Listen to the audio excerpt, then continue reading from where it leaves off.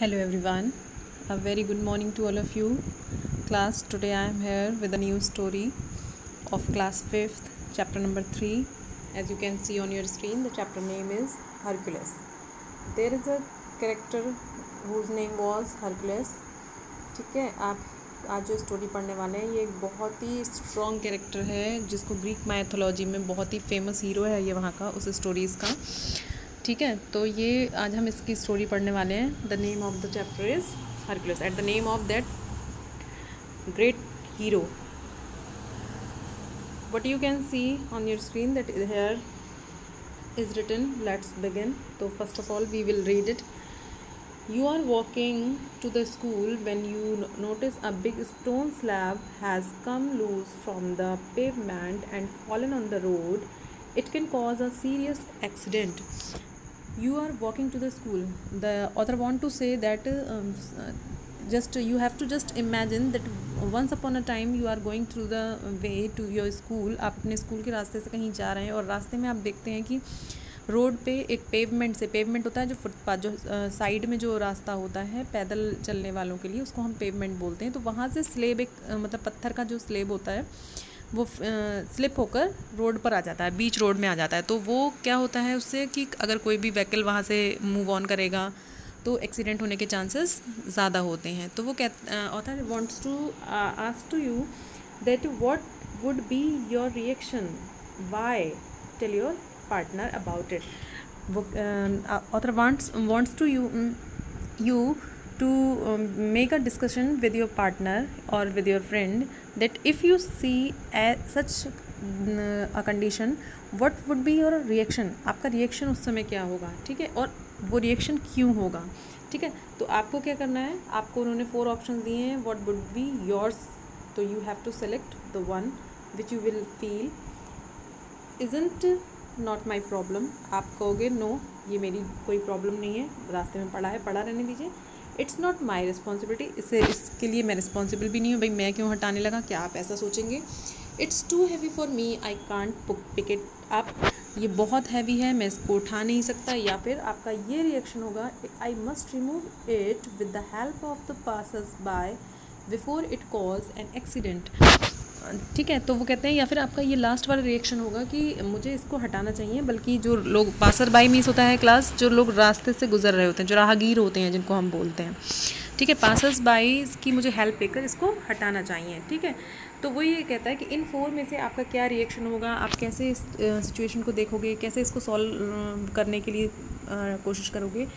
You have to discuss it with your friend और what ever homes over you are discussing this chapter so we will go through the story first of all you are watching the reading in comprehension section तो आपको यहाँ से reading करनी है. Let's read हम पढ़ना शुरू करते हैं.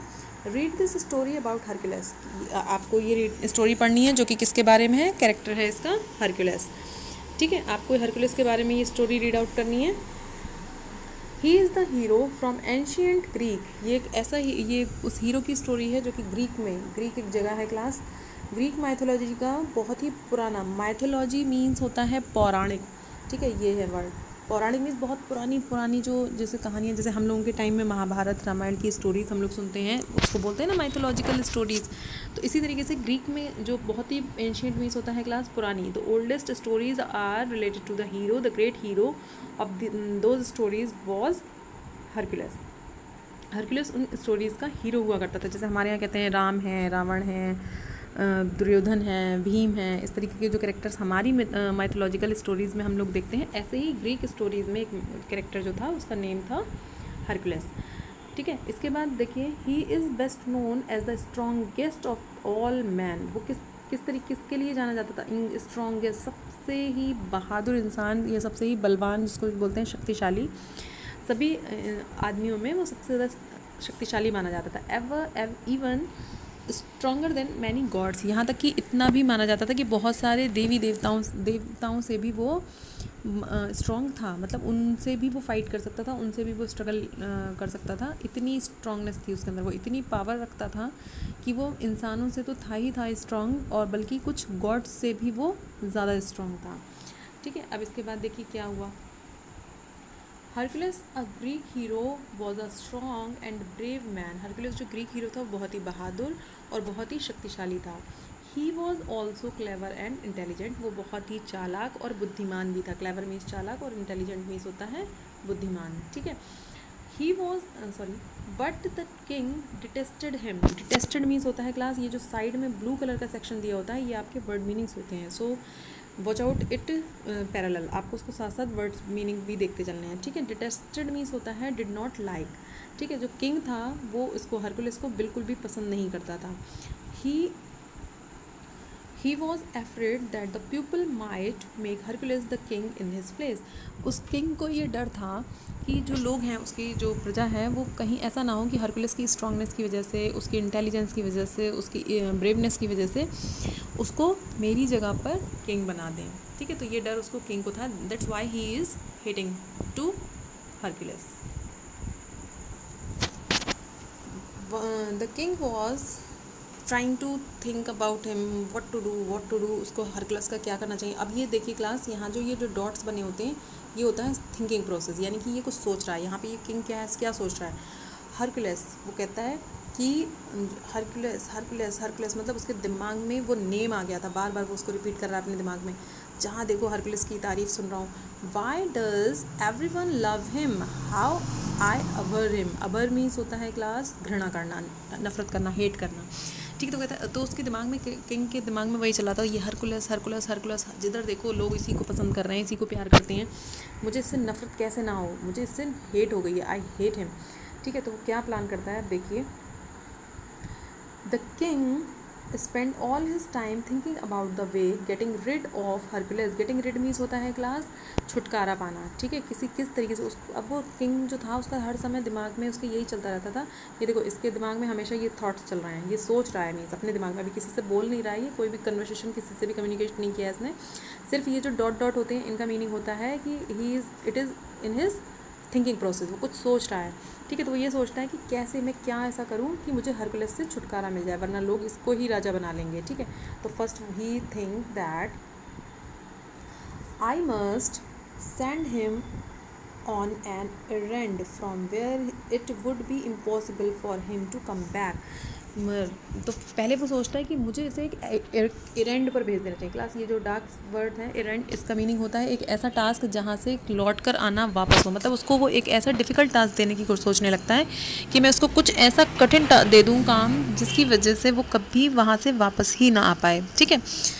तो वो ये सोचता है आफ्टर दैट लेकिन फिर उसके दिमाग में आता है, दूसरा थिंग थॉट आता है कि बट वेयर लेकिन ऐसी कौन सी जगह है मैं ऐसे जहाँ जहाँ उसको भेज दूँ? ठीक है, उसके बाद देखिए थर्ड उसके दिमाग में जो प्रोसेस चल रहा है, वो क्या है? I idea I will ask him to get me golden apple which grow in Hebrides ठीक है तो कहता है कि, ओ, उसके दिमाग में अचानक से एक आइडिया था कि मैं उसको मैं हरकुलस को बोलता हूँ कि मुझे भाई गोल्डन एप्पल ला कर दो आप। जो कहाँ ग्रो होते हैं हैब्रिड्स में। हैब्रिड्स एक जगह है, वहाँ पर वो गोल्डन कलर के एप्पल्स मिलते थे।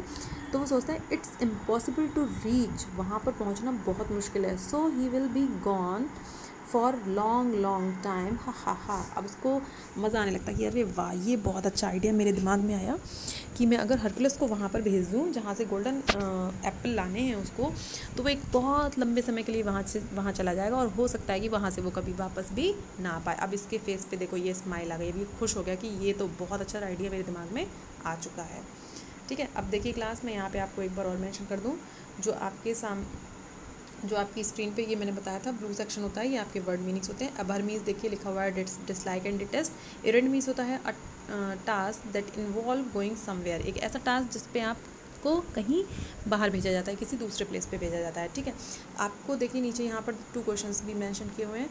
We will take it parallel first question said that what did the king think he should do to get rid of Hercules king क्या सोचता है कि मुझे कैसे हरकुलस से छुटकारा मिल सकता है? वो यही सोचता है कि मैं उसको किसी एक एरेंड पर भेज दूँ so that he can not be able to come back ठीक है?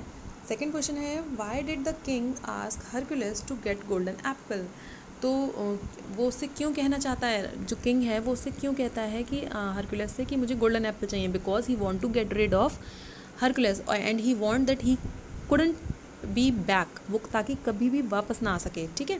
वो ये सोचता है कि मैं उसको मैं भेज दूँगा तो ये कभी भी वापस नहीं आएगा और मैं ही किंग बना रहूँगा, ठीक है? इसको ये फियर इसके दिमाग में आ गया था। When the king create this this idea in his mind he call to Hercules उसने क्या किया? उसने तुरंत हरकुलस को बुलाया। The king called Hercules king ने कर हरकुलस को बुलाया। Hercules you are my bravest hero उसकी तारीफ़ करता है पहले कि तुम तो मेरे सबसे बहादुर हीरो हो, योद्धा हो, ठीक है? And only you can get the golden apple और केवल सिर्फ़ तुम ऐसे हो जो वो गोल्डन एप्पल ला सकते हो। Which grow only in Hebrides will you go तो वो कहता है वो जो कि जो गोल्डन एप्पल हैं वो कहाँ पर ग्रो करते हैं कहाँ उगते हैं? सिर्फ़ हैब्रिड्स में। और विल यू गो उसे एक क्वेश्चन पूछता है क्या तुम जाओगे मेरे लिए वहाँ पे?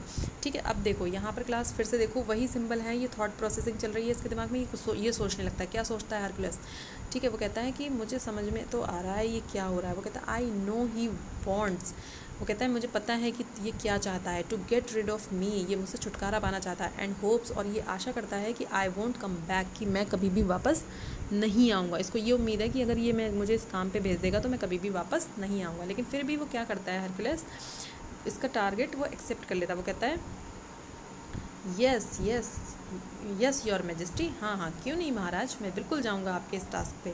ठीक है, वो एक्सेप्ट कर लेता है हरकुलस सब कुछ जानते हुए भी, क्योंकि उसको पता था कि मैं बहुत बहादुर हूँ, मैं कुछ भी कर सकता हूँ। उसको अपने ऊपर ट्रस्ट था ये, कि I am so brave Hercules set out class set out means होता है तैयार होना। वो तैयार हो जाता है किसके लिए? On his journey set out means शुरू कर देता है अपनी यात्रा शुरू करता है।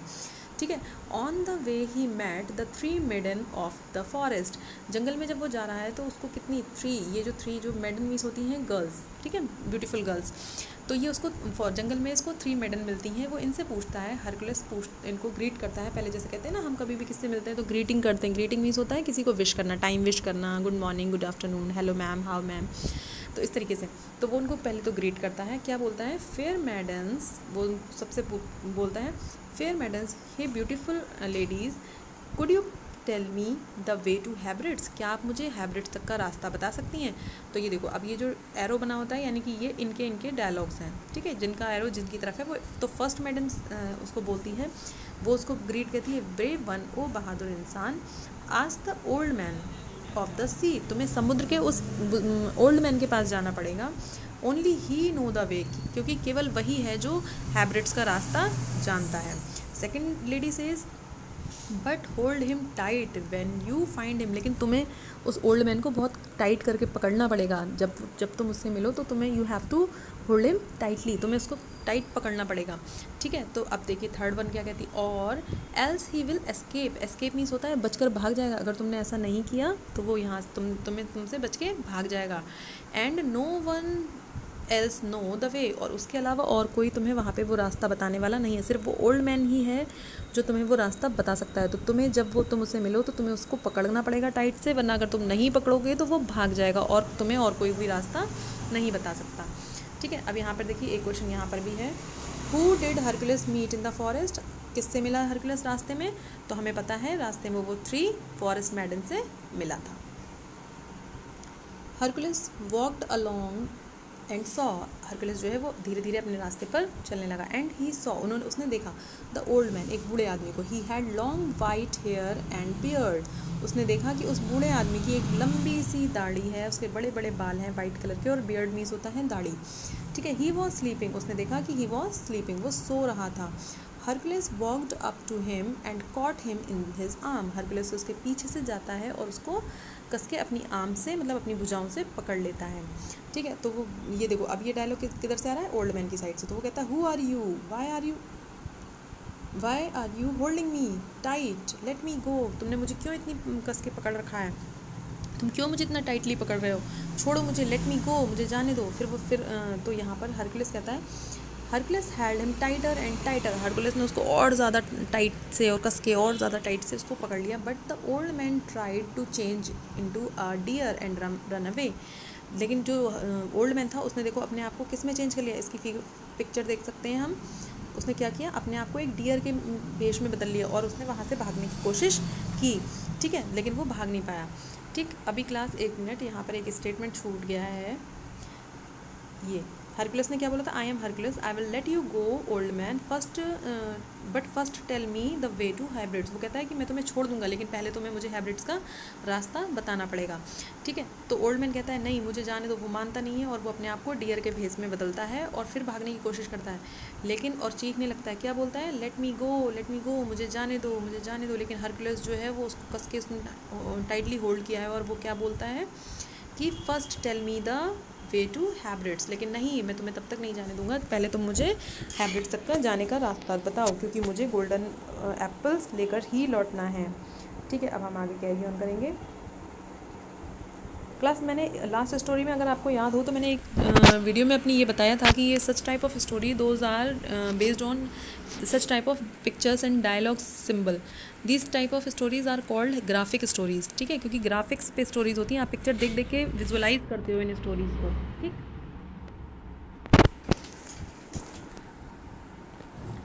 Then the old man tried to change into tiger tiger and free himself old man ने उसके बाद अपने आप को एक टाइगर में चेंज कर लिया। टाइगर का फिगर उसने बना लिया।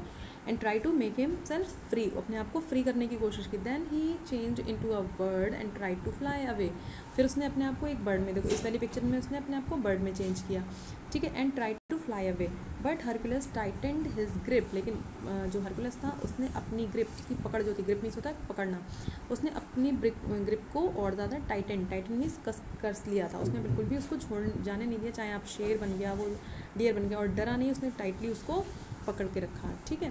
और वो जो है, ये जो चेंज हो रहा था, वो बार बार वही चीख रहा था late me go let me गो मुझे जाने दो, मुझे जाने दो। और जो हरकुलस था, वो बार बार उसको बोला था, मैं तुम्हें जाने दूँगा but first tell me the way to habits तो मुझे वहाँ का बस रास्ता बता दो।